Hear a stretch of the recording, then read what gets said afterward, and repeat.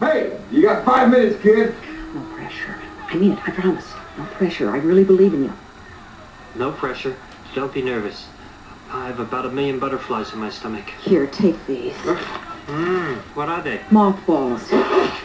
Boy, your career is really on the rise. We're gonna get into bumper stickers and posters and t-shirts, everything. Oh. Because after tonight, kid, you're gonna be the most known unknown comic. Ooh, you really think so, Kate? Yes, sir.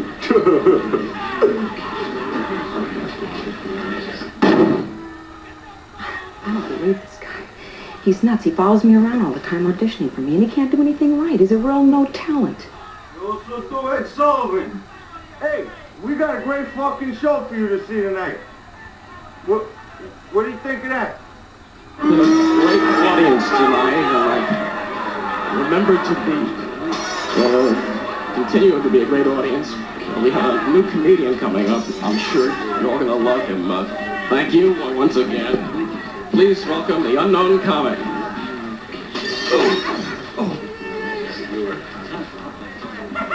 All right, what a crowd, what an audience. All right, woo-hoo. Okay, I'm telling you, yeah, I just flew in from Las Vegas. Yeah, what a bummer, I got air sick and nobody knew. Yo, ah, yeah. Got me staying at the Sahara Hotel. What a weird hotel. I called the desk clerk, then I got a leak in my sink. He said, go ahead. yeah, things are going pretty good, though. Yeah, I just moved in an apartment over a bank.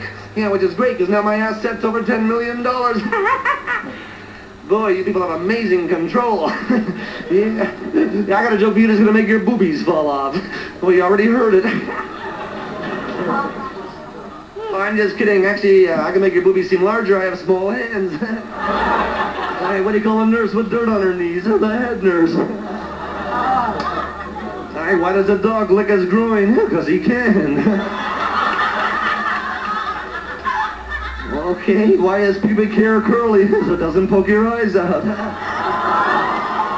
Alright, what do you call a hundred cows masturbating? Beef stroganoff. Alright, one more. What has three balls and comes from outer space? E.T. the extra testicle. you know why they spell sex S-E-X? Because you can't spell... Thank you about the guy who had herpes in his eyebrows. Yeah, he was looking for love in all the wrong places.